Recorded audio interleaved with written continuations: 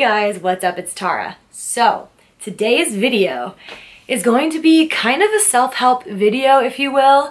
I'm going to be showing you guys how to pose for Instagram photos. Now, I know a lot of people are gonna be like, what has the world come to? There are girls out here making videos and like how to pose for an Instagram pic, which, okay, whatever, you might feel that way, that's fine. But you know what? I've had so many friends taking photos with so many girls that like they dress up, they look cute, and then they get in front of the camera and they freeze and they feel really uncomfortable. They don't know what to do with their arms. They're super awkward. So this is for you, if you're like that, if you really want a cute photo but you just literally don't know how to move your limbs and you feel really awkward, I'm going to help you guys. I'd rather teach people learn their angles than not take photos at all because I even have some friends that completely avoid the camera and run away when anybody wants to take a picture and I'm like, you're not gonna have any memories. These are the five Instagram poses that are my go-tos that are super easy and cute that you guys can also do. So the first pose is just called the cute little over the shoulder. It's usually like a close-up photo of your face. Maybe you really like your makeup that day or your hair that day and you don't really want a selfie. You want like a picture of your face of somebody else taking it of you. So here's a couple of examples of when I do like my cute little over the shoulder. It's super easy, super simple. All you do is turn to the side. It looks really natural and not really forced. So what you would do is you turn to the side, look over your shoulder, kind of like flip your hair back, and what you do is you pull your shoulder up towards your face a little bit, so it's like that, but you don't want your shoulder in the camera to cover your jawline or your chin. So you don't want to look like that, because it just is like very clogged up. You want to kind of like show off like your jawline and make it look super cut. So you bring it to here. See how it's like up jaw so you can still like feel like you have kind of a little bit of a neck instead of being like no neck, you want to be elongated. The good thing about it is if you don't like one side of your face or you feel like your face isn't that symmetrical, just turn your body to your good side and then you literally just have like your good side in a photo. You know what I mean? Anyway, so that is pose number one. Super easy, super cute, simple, natural, and yeah, pose number one. The next pose is probably my favorite. I catch myself doing this pose a lot and I call it the one arm power stance. So here's some examples of the one arm power stance. I like this pose because it's a very like, hello, I'm here. How the fuck are you? Like, look at me. I do this whenever I really like my outfit and you're kind of just like, I am 100% that bitch, you know what I mean? So what you do is you stand with your feet like shoulder width apart, you put your either arm, whichever one you want. I always do my left arm, I don't know why. So you put your left arm on your hip and I kind of like push my shoulder forward. If you can see with my strap off, I just kind of go like that and it like pops out my shoulder bone. And I think it's kind of like fashion, like, mm, like this video is so ridiculous, but this is literally like what I do. So anyway, long neck. Sometimes the camera is like straight on or sometimes whoever's taking it, I ask them to like kind of squat down and take it from below. At this point, I, I can make anybody take a good picture of me. I promise you, give your fucking grandpa an iPhone and I can kind of like position him to take a good picture of me. I feel like I just know my angles now at this point and I know my go-to poses that I like, it doesn't matter if the person is good at taking a picture, like I just, I can I can do it for them kind of. Anyway, it's almost like the Superman pose. You know the Superman pose? You stand with your feet shoulder width apart, you put both hands on your hip and then they say if you do it for like 30 seconds you just ex like exuberate. What is that called? Like you just put off like confidence. It's just a really confident pose. So whenever I'm like at a festival or I'm just in an outfit that I really like and I feel really confident and powerful, I'm just like, hello. You can angle your body to kind of be a little bit sideways or you can just do straight on. I do either one. I really like that pose. It's great. It's very powerful, very like confident vibes. I just like that pose. The next pose is quite famous actually. It's called the thot squat. Now here's some examples of me doing the thot squat. And this is very popular. It's also one of the mo more like made fun of poses, especially like with the term thot squat. And the reason I like this pose is because it's a really easy way of just getting your full outfit in the square without trying too hard and you can do it close up too. So basically all you do is take a knee. I usually will take a knee with my leg, my front leg, like facing the camera. And I don't ever typically do the thot squat with my back leg propped up because it's just like a direct shot of your vagine and I feel like whenever I see girls do that like I just go straight to the crotch and it's super weird. So like I always put my other leg that's facing the camera in front of me because it can like show the details of whatever pants you're wearing or like of your leg and it's just like more flattering I think instead of like direct like crotch shot you know what I mean? Like that's kind of weird. So yeah, usually I just like try and like sit up really straight and kind of like put my shoulders back. It's just cute. It's a little thoughty. You can pop your booty a little bit too to give you like a curve.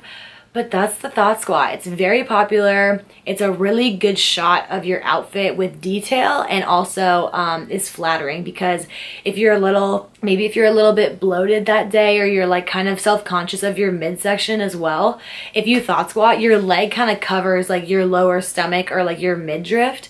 Um, so that's also a tip because you can pull your pants like over your stomach if you're kind of bloated and you look more slim, especially if you pop your butt out a little bit. So I think that's also why a lot of girls like it, but it's a very insta-ho pose, but like, I think it's cute.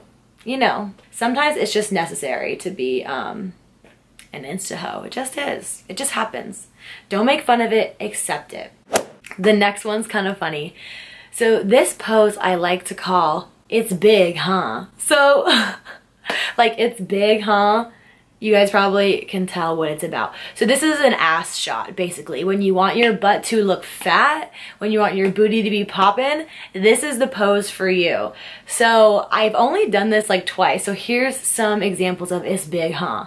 So this is definitely like a butt shot. Like if you are like, oh, my butt looks really good in these pants or these shorts, whatever, in this dress, here's what you're gonna do you kind of do the cute little over the shoulder, but you are obviously either standing fully to the side facing the camera or you have like kind of your back facing the camera and you turn around to look back at it. Like look back at it, you know? So the first example I'll actually show you guys is, okay, this one of me at Coachella. So you're standing sideways to the camera, you're looking at it, and what you do is the leg that's closest to the camera, you put all of your weight on it. All of your weight so that it kind of like pushes your butt like the, towards the camera and then because all of your weight's on this leg, it kind of makes a bigger crease like in your the bottom part of your butt so it gives the illusion of your butt being bigger. This is the like it's big huh the sideways version. So if you want to do like the look back at it version, it's like you kind of just turn more so around. Like here's an example. And you just look over your shoulder. So it's like the cute little shoulder one. And you have whoever, oh yeah, and same with the like the first photo, you always have the person that's taking it get on their knee and take the photo from below you. So it's all about the angle. So you have to put all of your weight on one leg and then the person taking it has to take it from below like your hip basically. And this is just gonna give the illusion of you having a bigger butt. This one of me wearing the snake snake skin pants, you kind of also can see like I'm pushing out like my back leg so it makes a crease in my pants. So it's also just like gives the illusion of a, a bigger behind. But that's it, it's big, huh? Um, I don't have cleavage, so like I always, if I want to take like a kind of like raunchy pic or whatever, um, it's usually gonna be like of my butt. so, cause I have a butt but I don't have boobs. So that's kind of like what I would focus on. So if you guys are like sexy ass bitch, big ass, no tits, like that's for you. Anyway, the last and final pose is again, it's kind of back to your more innocent self. It's more natural. This is just called like the all natural hair touch. You want to take a photo, you look kind of cute that day. You just don't know what to do with your arms or you like you feel really stiff in front of the camera. Just touch your hair. Literally just touch your hair. It looks super natural. It looks like it was windy outside or something like that. And you were kind of just like, oh, mm-hmm. You know what I mean? It kind of looks like you were about to be doing something, but you weren't. So here's some examples of like the all natural hair touch. They're just super casual photos where like, it's kind of an outfit pick, but you just don't really know what to do with your hands. So you just kind of like flip your hair or something. Like I usually go like this, like I start to put my hair like behind my ear. Or like I just go like like this or like this or just like or I flip my hair or I'm just like or you can go like this like literally just fucking touch your hair and it looks like more natural. And yeah that's the all natural hair touch. It's super simple and easy honestly. You guys, I think I just talked about those so quickly. Um, that is my five go-to poses for Instagram photos. So I know some of you guys are gonna watch this that maybe are not into Instagram, like thoughty pictures, and you guys are like, this is so stupid. But you know what? I don't care.